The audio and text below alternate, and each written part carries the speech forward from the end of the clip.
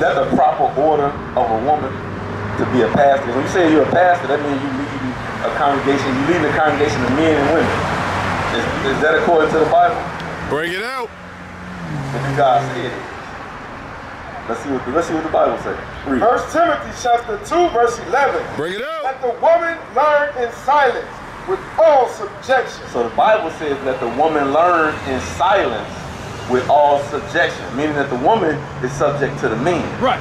The men, we are the we are the heads of the neighborhood, the community, the church. We supposed to be the head. We the ones that teach the people and teach the congregation, teach our families, all of that. It's, it comes, it starts with us, and then our women teach the children. He is a man. So the word is coming from the man. And she's teaching Well, what's the what? Read it. Read that. Let's read it. No, let's, let's, let's finish because we want to know because if we know we know we know God exists, right? How did how did God give us instruction and direction? Right here, the Bible is our instruction and direction. That's right. You see, in the Bible it says technically God is black, right? So let me so let me tell you this because you said you just said out the Bible that God's black. Where the hell did this come from? Okay then, so that's not the Bible. Right. Right. Well, let's read that. Get, get that Revelation 1 and 14. This is the book of Revelation, chapter 1, verse 14. His head and his hair were white like wool. And you already know this, but who got woolly hair on earth? We do. The so-called black man. What's your name, bro? Tay. Who got black? Who got who got woolly hair on earth? Us. Read. as white as snow, Uh-huh. and his eyes were as a flame of fire. So his hair was white as woolly. This his hair was white and woolly. This particular Bible we're reading out was in 1769, because this is when they took out the apocrypha from the Bible. Bring it out. The, the other one, the 16, this one, this is the Cambridge. This is based off the 1611 Bible. 1611 version of the Bible. The other 1611 is in older English, where where you look at it, it don't have the J's, it don't have the um the V's, the U's are V's and stuff like that, but it say the same exact thing as what's in this one. So it's not the Bible that changed, it's the people that presented us the Bible that taught us the wrong thing. Bring it out. That's what that's what it is. Isaiah 29, 13. Uh-huh. But I'm saying what you what you saying, you saying who who you saying the people that write it and produce it, that they have control of the content. That's what you're saying. But the content read, let's read that. And his feet like unto fine brass, as if they burned in a furnace. What color is brass? What color is brass? It's brown. Cause brass is brown. And it says as if what? As if they burned in a furnace. as if it was burned in the furnace. If you burn anything, what happens? It turns black. So this is telling us that Jesus Christ was a very dark-skinned man. That's right. Which proves this image, which you already know, to be a lie. And that, and this is a better depiction of him right here. So that lets you know that the, it's not the Bible that's tampered with, it's the people that's teaching the Bible. Give me Isaiah 29 and 13. It's the people that's teaching the Bible. Bring it out. And that's where the, that's where the, that's where the problem comes out. Which one? They're not though. But and the, and the Bible proves that to be false. So that's what I'm saying. It's not the Bible that's wrong. It's the people that's teaching it. And that's what we got to come up, come out from under. And that's why we out here.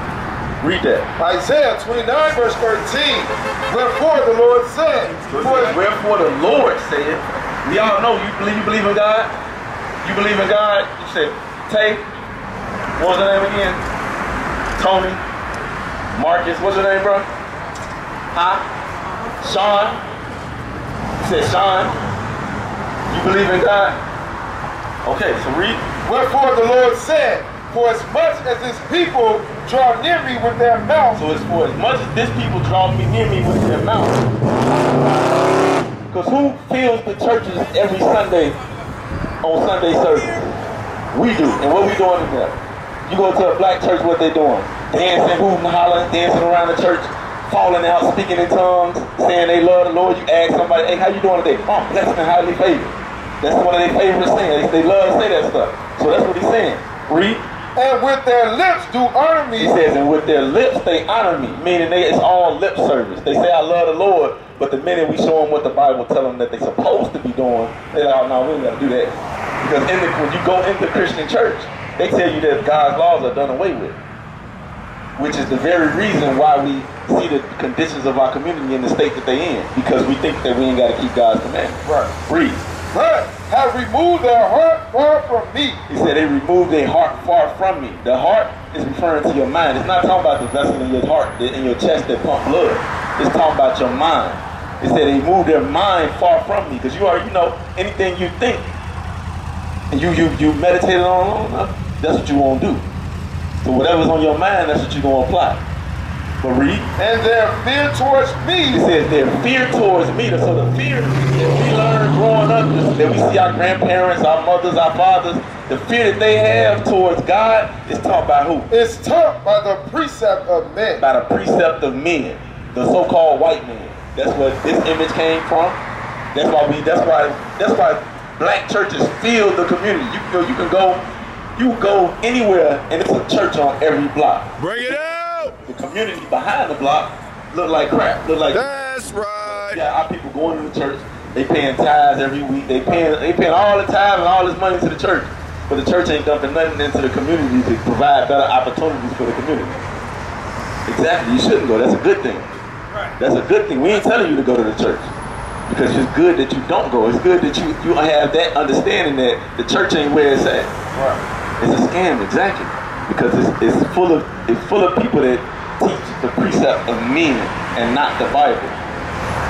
Can we go back to uh, 1 Timothy 2 and 9 or 2 and 11? Because what we showing, because like you said, you, you said your mother was a pastor, and that's and it's not just your mother. It's many churches that got women that's leading the congregation.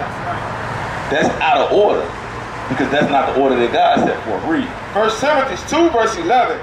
Let the woman learn in silence with Uh-huh. all subjection. With all subjection, read. But I suffer not a woman to teach, So he said, I suffer not a woman to teach, read, nor to usurp authority over the man. nor to usurp authority over the man. So when a woman is set up as the pastor, you got Pastor Williams, and it's a sister. She's taking you, she's usurping authority over the man. She's Bring it out! Position where she's usurping authority over the man. That's not supposed to be. That's right. What do we do? I'm gonna show you that. That's an excellent question.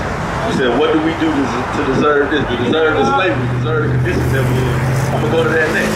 Read that. First Corinthians chapter 11 verse 3.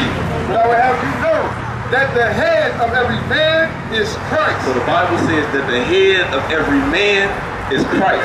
How y'all doing, sisters? What's your name? Say it again.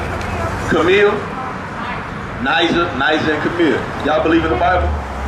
Listen up, read that. Read But I that. will have you know that the head of every man is Christ. So the head of every man is Christ. So the authority we get our instruction from Christ, and that, that that's it's referring to the Bible. Read.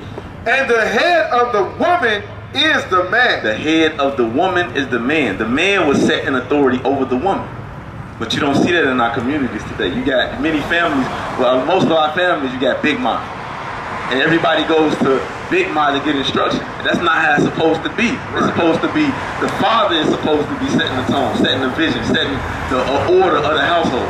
But many of us have grandmothers, great grandmothers, and that's she the one that set the tone. That's not that's not right. That's not according to God. Read. At the head of Christ is God. And the head of Christ is God. So the divine order that the Most High God set up is the Most High God, Christ, I came on that a little men, women. And the women deal with the children when they little and raise up. And when they get to a certain age, the man take the sons, the man take over and show them how to be men.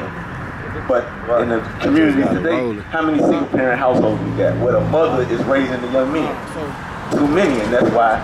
Because what, hap- what, what happens when uh, most of these most of the young men get shot? What happens? Why does that happen? Emotional. Because and, and there's no no negative thing to women because y'all do the, our sisters do the best that they can, but a woman can't show a man how to be a man. Right. Because a man needs a father so he can a father can teach him how to manage his emotions. So when he get mad, he don't go off and just shoot the block up and everybody he got babies getting shot. That's what's going on because it's out of order. Read that, yeah. Isaiah chapter 3, verse 12. For as, for as my people, children are their oppressors. Read it again. Read it again. as for my people, children are their So oppressors. it says, as for my people, that my people is talking about the blacks, Hispanics, and Native Americans, the Israelites, according to the Bible. He says, my people, he said, children are their oppressors. Because when you look at the statistics, it's all, the, the, the, how old are you, sis? 40? What about you? 17, how old are you? 24? 21. So, sister, sister you 40? So, I'm 37. When I look at the when I look at the, the, the, the stats, so to say, I was in high school, what? That was what, 20 years ago? A lot of the young men that's terrorizing the streets is from the, the sisters that had babies in their teenage years during when I was in high school. A lot, some of them are y'all age group. And it's like, okay, why was that? Because they had children when they was in their parents' household and they didn't even know how to raise children. So those children was raised by the music. Right. They was raised by the TV. Right. They wasn't given no instruction. Now that's why now they are the oppressors of the community. Read. As for my people, children are their oppressors. Uh-huh. And women rule over And them. it says, and women rule over them. Women, the order is, the order has been switched up. Women are looked at as the head of the house. And that was done to us in slavery, believe it or not. It was done to us in slavery. The roles were reversed. Right. The houses was, was set out of order. Read. O my people, they which lead thee, cause thee to err. We have been led by a wrong nation, a wrong nation of people that have deterred, that have took us astray from the, what the Most High God designed for us.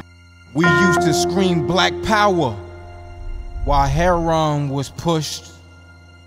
But at the end of the day, nothing's in vain. IUIC has been given a vision. The tents of Judah has risen. Many has attempted the mission, minor murmuring, omitting, and missing the mark. Just reading that he had the flame of fire in his eyes gave us the spark. We on Paul's mission. We out on the road, purple and gold, from Mexico, Cuba, Haiti, Ghana, Sierra Leone. 144,000 boots banging, concrete crackling. These are how men repented at heart. The scriptures is proof. IUIC, we deliver the truth.